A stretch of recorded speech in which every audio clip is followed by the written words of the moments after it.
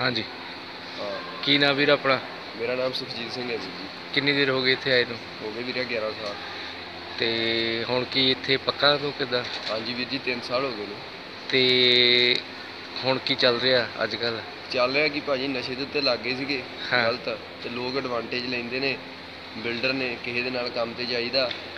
20 30 pound ਸ਼ਾਮ ਨੂੰ ਫੜਾ ਦਿੰਦੇ ਨੇ ਨਸ਼ਾ ਪਾਣੀ ਕਰ ਲਓ ਆਹ ਕਰ ਲਓ ਬਾਕੀ ਪੈਸੇ ਥੱਲੇ ਰੱਖ ਲੈਂਦੇ ਨੇ ਵੀਕ ਵੀਕ ਕੀ ਥੱਲੇ ਕਿਹੜਾ ਪੈਸੇ। ਕੰਮ ਕਿਹੜਾ ਕਿਹੜੇ ਜਾਣਦਾ ਤੂੰ?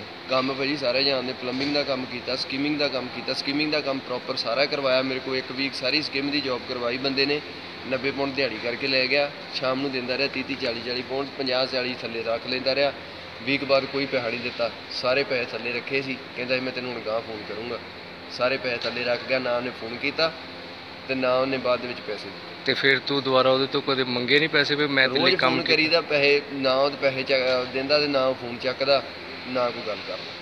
ਤੇ ਫਿਰ ਨਸ਼ਾ ਕਿਹੜਾ ਕਿਹੜਾ ਕਰਦਾ ਨਸ਼ਾ? ਨਸ਼ਾ ਭਾਜੀ ਹੈਰੋਇਨ। ਇੱਥੇ ਆਣ ਕੇ ਲੱਗੇ ਆ ਮੁੰਡਿਆਂ ਦੀਆਂ ਢਾਣੀਆਂ ਦੇ ਵਿੱਚ ਇੱਥੇ ਬੈਠੇ ਜਿਹੜੇ ਘਰੇ ਕੰਮ ਤੇ ਰੈਂਟ ਤੇ ਰਹਿੰਦੇ ਸੀ ਚੰਗੇ ਭਲੇ ਕੰਮਾਂ ਤੇ ਲੱਗੇ ਸੀ। ਉਹ ਇੱਕ ਬੰਦਾ ਮਾੜਾ ਸੀ ਉਹਨੇ ਇੱਕ ਦਿਨ ਲਾਇਆ ਦੋ ਦਿਨ ਲਾਇਆ। ਉਹ ਸਾਨੂੰ ਵੀ ਨਾਲ ਲਾ ਲਿਆ ਵੀ ਇਹਨੇ ਇਹਨਾਂ ਤੋਂ ਪੀਵਾਂਗੇ ਕਰਾਂਗੇ ਜਾਣੀ ਯਾਰਾਂ ਦੋਸਤਾਂ ਨੇ ਡੰਡ ਲਾਤੀ ਤੇ ਮਜਬੂਰੀ 'ਚ ਫਸ ਗਏ ਆ ਹੁਣ ਨਾ ਕਿੰਨੇ ਛੁੱਟਦਾ ਕਿੰਨੇ ਕੁ ਮੁੰਡੇ ਆਪਣੇ ਇੱਥੇ ਜਿਹੜੇ ਪੰਜਾਬੀ ਨਸ਼ਾ ਕਰਦੇ ਤਾਂ? ਇਹ 100 ਦੇ ਵਿੱਚੋਂ 60% ਮੁੰਡੇ ਦੇ ਕੰਮ 70% ਕੰਮ ਦੇ ਉੱਤੇ ਨਸ਼ਾ ਹੀ ਕਰਕੇ ਜਾਂਦੇ ਨੇ ਮੋਸਟਲੀ ਹੈਰੋਇਨ ਹੀ ਪੀਂਦੇ ਨੇ ਨਹੀਂ ਤੇ ਡੋਡੇ ਆ ਨੀਲੇ ਇਹ ਉਹ ਇਹ ਸਾਰੇ ਤੇ ਕੁਛ ਤੇ ਖਾਂਦੇ ਹੀ ਖਾਂਦੇ ਨੇ। ਤੇ ਜਿਹੜਾ ਇਹ ਕੋਈ ਕਵੇ ਕਿ ਮੈਂ ਨਹੀਂ ਖਾਂਦਾ ਮੇਰੇ ਸਾਹਮਣੇ ਮੂੰਹ ਤੇ ਆ ਜਾਣ 10 ਬੰਦੇ ਕਿਹੜੇ ਕੰਮ ਕਰਦੇ ਨੇ ਉਹ ਸਾਹਮਣੇ ਆ ਜਾਣ ਮੈਂ 10 ਚੋਂ 6 ਬੰਦੇ ਨਸ਼ੇ ਵਾਲੇ ਕੱਢ ਦੂੰ ਤੇ ਜਿਹੜਾ ਇਹ ਹੈਰੋਇਨ ਤੂੰ ਕਰਦਾ ਅਮਨ ਜਿਹਨੂੰ ਚਿੱਟਾ ਕਹਿੰਦੇ ਉਹੀ ਹੈ ਨਾ ਹੈਰੋਇਨ ਹਾਂਜੀ ਹਾਂਜੀ। ਤੇ ਇਹ ਮਿਲਦਾ ਕਿੱਦਾਂ? ਕੀ ਰੇਟ ਮਿਲਦਾ ਇਹਦਾ? ਕਿਦਾਂ? ਇੱਥੇ ਭਾਜੀ ਇਹ 10 10 ਪੌਂਡ ਦਾ ਬੈਗ ਦਿੰਦੇ ਨੇ ਕੋਈ 15 ਪੌਂਡ ਦਾ ਬੈਗ ਦਿੰਦਾ ਕੋਈ 15 ਦੇ ਦੋ ਕਿੰਨਾ। ਹੁੰਦਾ। ਗ੍ਰਾਮ ਹੁੰਦਾ ਉਹ ਚ? ਕੋਈ ਗ੍ਰਾਮ ਗਰੂਮ ਨਹੀਂ ਹੁੰਦਾ ਥੋੜਾ ਜਿਹਾ ਹੁੰਦਾ ਇੰਨਾ ਕਿ ਬਸ ਇੱਕ ਵਾਰੀ ਦਾ ਲਾ ਕੇ 2-4 ਘੰਟੇ ਪੰਜ ਕੱਢਣ ਜੋਗਾ ਹੁੰਦਾ।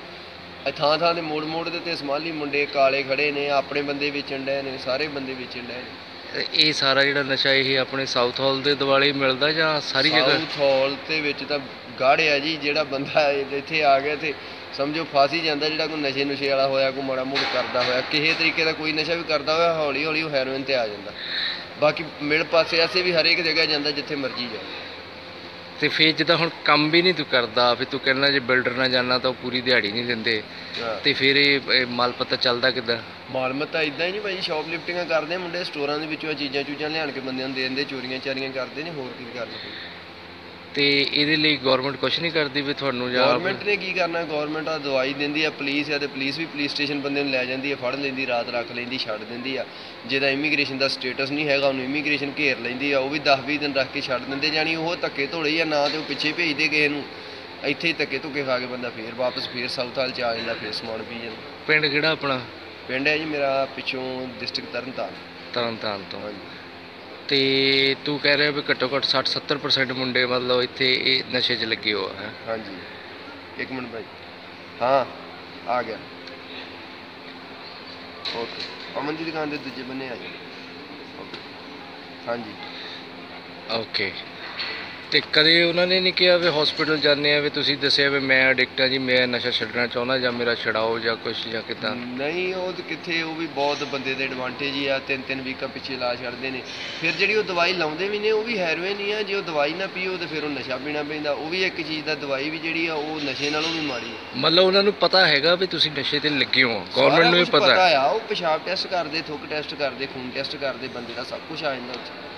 ਤੇ ਕਦੇ ਸੋਚਿਆ ਨਹੀਂ ਵੀ ਆਪਾਂ ਘਰੋਂ ਕਿਹੜੇ ਕੰਮ ਨੂੰ ਤੁਰੇ ਸੀ ਤੇ ਕਿਹੜੇ ਕੰਮ 'ਚ ਆ ਪਏ? ਭਾਜੀ ਰੋਈ ਦਾ ਇੱਥੇ ਬਹਿ ਕੇ ਕੰਧਾਂ ਨੂੰ ਸਿਰ ਮਾਰੀ ਨਾ ਕੀ ਕਰੀਏ? ਕਿ ਪਿੱਛੇ ਤਾਂ ਮਾਪੇ ਤਾਂ ਕਹਿੰਦੇ ਹੁਣੇ ਪੁੱਤ ਸਾਡੇ ਕਮਾਉਣ ਗਏ ਉਹ ਆਪਾਂ ਇੱਥੇ ਨਸ਼ੇ ਨੂੰ ਲੱਗ ਗਏ। ਨਹੀਂ ਪਿੱਛੋਂ ਦੇ ਵੀਰ ਜੀ ਚਲੋ ਐਵੇਂ ਆਖੀਏ ਪਿੱਛੋਂ ਤੇ ਠੀਕ ਹੈ ਮਹਾਰਾਜ ਦੀ ਕਿਰਪਾ ਨਾਲ ਕਰੇ ਜ਼ਮੀਨ ਭਾਂਡਾ ਹੈਗਾ ਘਰ ਦੇ ਕਹਿੰਦੇ ਨੇ ਆਜੋ ਪਿੱਛੇ ਹੁਣ ਪਿੱਛੇ ਜਾਣ ਦੀ ਤਿਆਰੀ ਕਰਨ ਦੇ ਹੋਰ ਇੱਥੇ ਕੀ ਕਰਨਾ?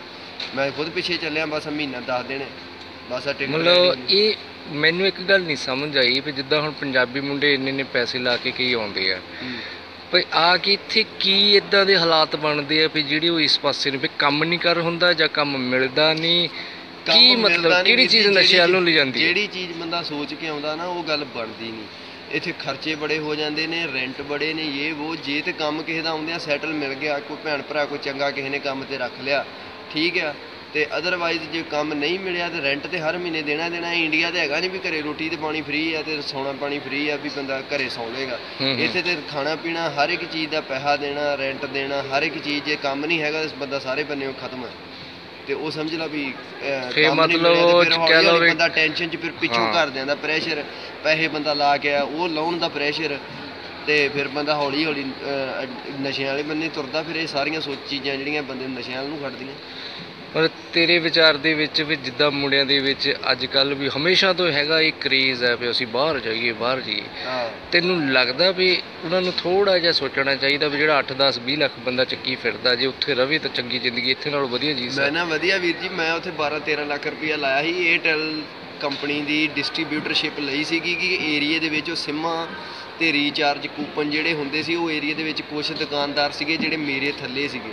ਉਹ। ਮੇਰੀ ਦੁਕਾਨ ਦੇ ਕੋਲੋਂ ਮੇਰੇ ਕੋਲ ਇੱਕ ਆਰਡੀ ਪੁਆਇੰਟ ਸੀਗਾ ਮੇਰੇ ਕੋਲੋਂ ਰੀਚਾਰਜ ਕੱਢਦੇ ਸੀ ਕੂਪਨ ਕੱਢਦੇ ਸੀ ਈਵਨ ਜਿਹੜੇ ਉਹਨਾਂ ਦੇ ਮੋਬਾਈਲਾਂ 'ਚ ਪੈਸੇ ਟ੍ਰਾਂਸਫਰ ਹੁੰਦੇ ਉਹ ਮੇਰੇ ਕੋਲੋਂ ਕਰਾਉਂਦੇ ਸੀ। ਮੈਂ ਅੰਮ੍ਰਿਤਸਰੋਂ ਕਰਾ ਕੇ ਲਿਆਉਂਦਾ ਸੀ ਜਾਨੀ 1 ਲੱਖ ਮਗਰ 4% ਹੁੰਦਾ 4% ਚ 3% ਦੁਕਾਨਦਾਰਾਂ ਨੂੰ ਦੇ ਕੇ 1% ਮੈਨੂੰ ਮਿਲਦਾ। ਮਹੀਨੇ ਦਾ ਫਿਰ ਵੀ 40 45000 ਰੁਪਇਆ ਉੱਥੇ ਬਣਦਾ ਸੀ 10 ਲੱਖ ਲਾ ਕੇ। ਤੇ ਫੇਰ ਫਿਰ ਮਤਲਬ ਉਹ ਤਾਂ ਇੱਥੇ ਨਾਲੋਂ ਤਾਂ ਬੈਟਰ ਸੀ ਨਾ ਫਿਰ ਇੱਥੇ ਤਾਂ ਕਿਤੇ ਬੈਟਰ ਸੀ ਭਾਜੀ ਉਹ ਉਹ ਜਾਣ ਕੇ ਫਿੱਟ ਲੜੀ ਐਵੇਂ ਇੱਕ ਦੂਜੇ ਵੱਲ ਦੇਖ ਕੇ ਵੇਖ ਕੇ ਦੇਖ ਕੇ ਫਸੇ ਆ ਹਨਾ। ਇਹੀ ਸਾਨੂੰ ਪੰਜਾਬੀਆਂ ਨੂੰ ਭੇਡ ਚਾਲ ਮਾਰਦੀ। ਤੇ ਹੁਣ ਕਿੰਨੇ ਸਾਲ ਹੋ ਗਏ ਤੈਨੂੰ ਇੱਥੇ ਆਏ ਨੂੰ? ਹੋ ਗਏ ਨੇ ਭਾਈ 10 11 ਸਾਲ। 10 11 ਸਾਲ ਹੋ ਇੱਕ ਗਏ। ਮਿੰਟ ਭਾਈ ਆ ਮੈਂ ਅਮਨ ਦੀਆਂ ਸ਼ਾਪਾਂ ਦੇ ਪਿੱਛੇ ਆ ਮੈਂ ਆ ਗਿਆ ਅਗਲੇ ਬੰਦੇ। ਓਕੇ ਚੱਲ ਠੀਕ ਹੈ ਵੀਰ ਕੋਈ ਨਹੀਂ ਹੈ।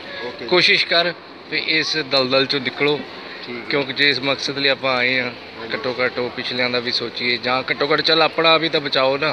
ਪੈਸੇ ਤਾਂ। ਖਾਦੀ ਘੜੀ ਨਹੀਂ ਇੱਥੇ ਤਾਂ ਵਾਪਸ ਚਲ ਜਾਓ। ਉੱਥੇ ਵੀ ਕੋਈ ਘਾਟਾ ਨਹੀਂ ਕਿਸੇ ਗੱਲ ਦਾ ਹਨਾ? ਚੱਲ ਠੀਕ ਹੈ ਮੇਰਾ ਵੀਰ ਹੈ? ਓਕੇ ਥੈਂਕ ਯੂ ਤੇਰਾ ਬਹੁਤ ਬਹੁਤ